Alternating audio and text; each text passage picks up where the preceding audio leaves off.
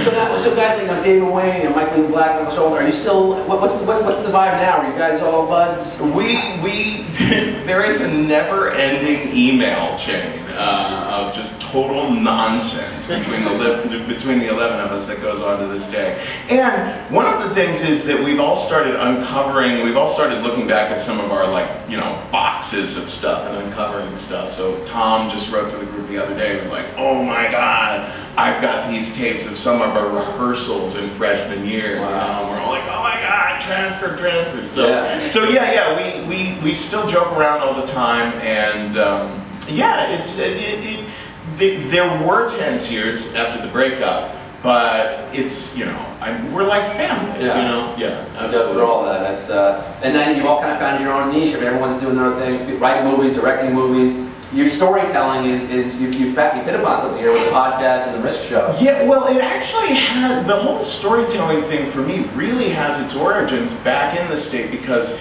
we used to we used to come to MTV at 10 o'clock in the morning, and we were at, at a certain point we all agreed, look, we are so mean to each other throughout the course of the day. We should have a half hour where we just check in with each other emotionally.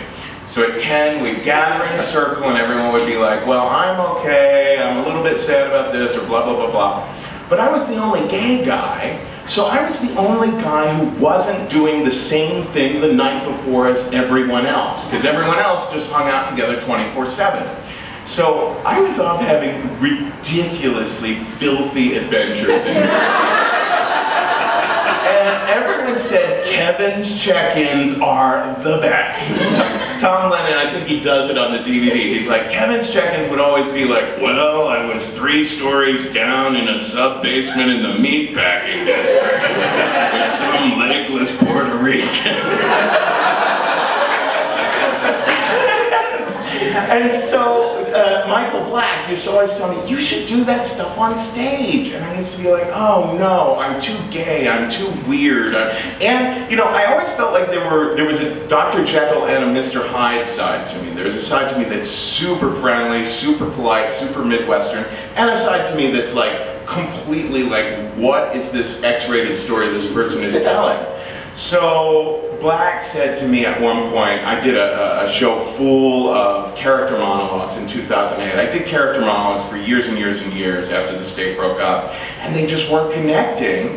And I did a show here at the pit, and it was called F Up, and all five characters were just failures. they had basically ruined their careers, and they were all representations of myself. And show itself was a bit of an F up. It just wasn't connecting with the audience.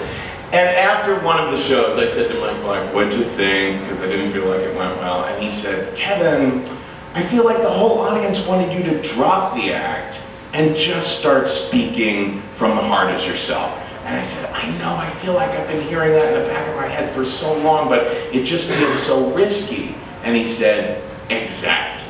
He was like, that is the juicy stuff. Risk. So the very next week, I started trying storytelling and, and saw it was just night and day. That you can get up on stage and if you're being authentic, if you're being honest, uh, you can say the strangest or the corniest or whatever things, and people's hearts will open up because they sense that there's sincerity there.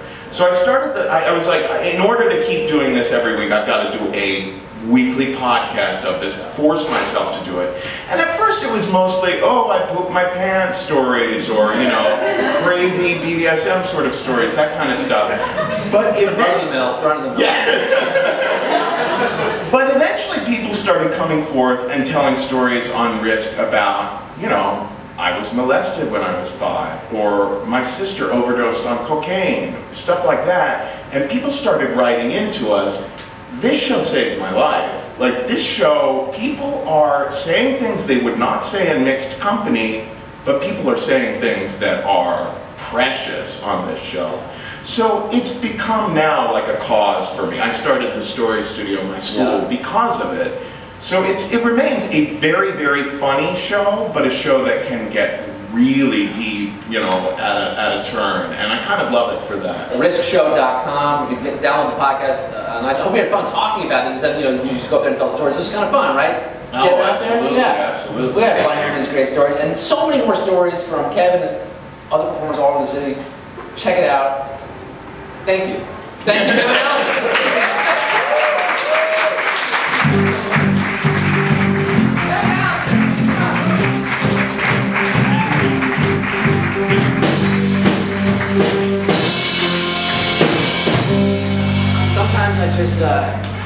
Don't know how to end. so